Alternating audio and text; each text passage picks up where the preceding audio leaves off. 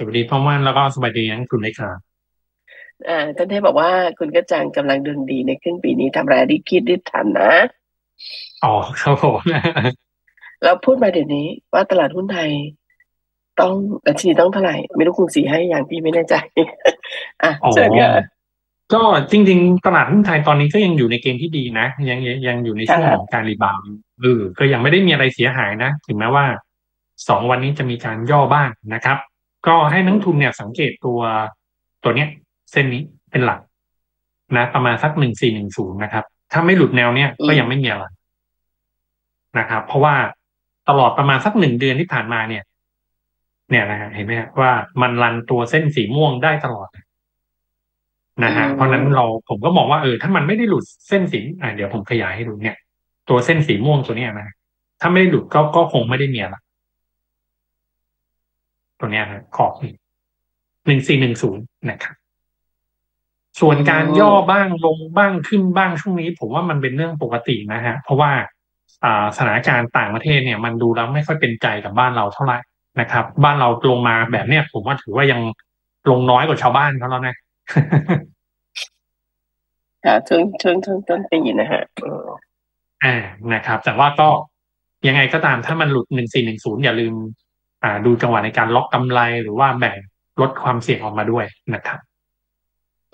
หมายความว่าตลาดหุ้นไทยอย่าง sideway ถ้าถ้ามันทะลุ sideway มันถึงจะขึ้นได้ใช่ไหมฮะคืออย่างนี้ครับพี่มอนคือตอนนี้เนี่ย ตัวดัชนีเนี่ยมันเป็นภาพของการ rebound แบบตัวตัว V แบบนี้เนาะนะครับอ่าแต่ว่าระยะต้องย่อมาสั้นๆก่เนี่อยนใช่อ่า ระยะสั้น ๆ ตอนเนี้ย มันก็ติดตรงนี้เดี๋ยวผมนี่นิดนึงอ่าเนี่ยนะฮะ ตัวแนวเส้นสีขาวตัวเนี้ย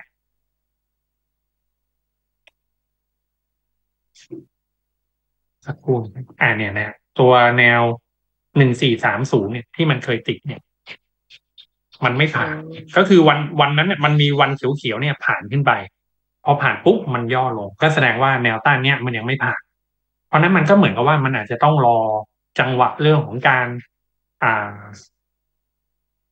อะไรสะอะเขาสเรียกมอะไรอะกำลัง เออลงมาทักตัวสะสมอะไรอย่างเงี้ยนะฮะมันอาจจะมีจังหวะแบบนั้น แต่ว่ายังไงก็แล้วแต่เนี่ย การย่อเนี่ยมันไม่ควรหลุดเส้นนี้อ่าเนาะพันเพราะว่าไอ้สี่ร้ยตัวเส้นสีม่วงเนี่ย มันมันรับการตกกระแทกมาตลอดในช่วงประมาณสักเดือนที่ผ่านมานะครับอืมโอเคได้เลยอะได้ไอเดียจากคุณกระจังเนาะได้เห็นลายแทงลายเส้นไปแล้วอะปลายแทงเลยพี่ลายแทง เออ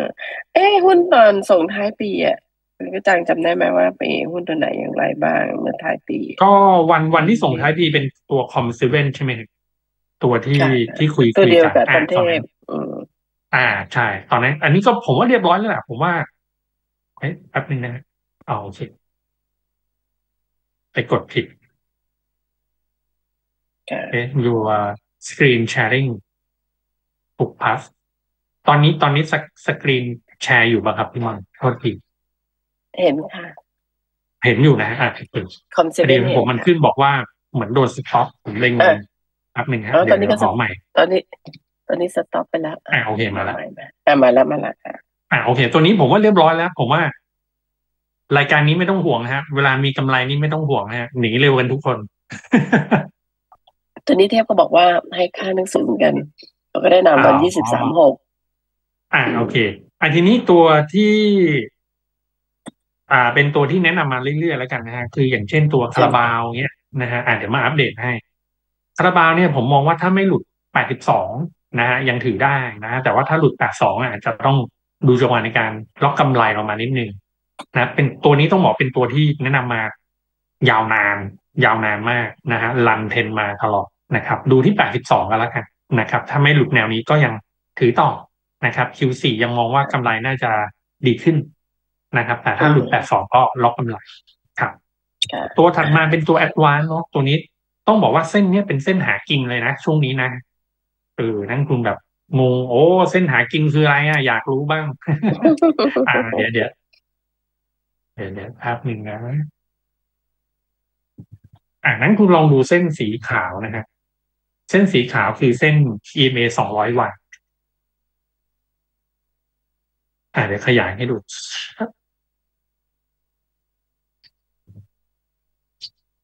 เนี่ยนะเส้นสีขาว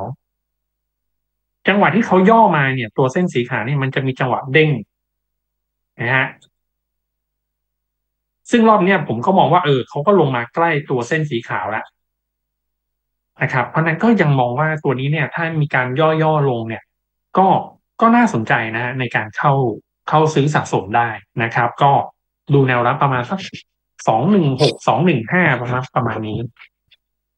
นะครับ มันจะมีรอบเด้งๆให้เราได้เล่นผมเลยบอกว่าช่วงเนี้ยเป็นตัวเส้นสีขาวเนี่ย เส้น EMA สองร้อยวันเนี่ย เป็นตัวเส้นหากินของตัว Advance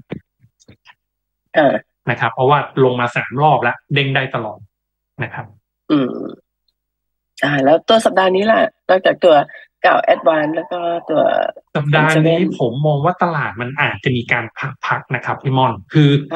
คือย่อลงอะไรเงี้ยเออนะย่อลงอะไรเงี้ยเพราะนั้นอาจจะยังไม่ได้เพิ่มตัวใหม่เข้ามานะครับ ก็ให้บริหารในชุดเดิมให้ให้ดูจังหวะถ้ามันไม่หลุดก็ยังถือได้เนาะแต่ว่าถ้าหลุดยังไงก็อาจจะต้องมีจังหวะของการล็อกกำไรหรือลดความเสี่ยงลงไปก่อนนะครับได้เลยอะ ก็ไม่แนะนำเนาะยังไม่มีแนะนำเพิ่มครับ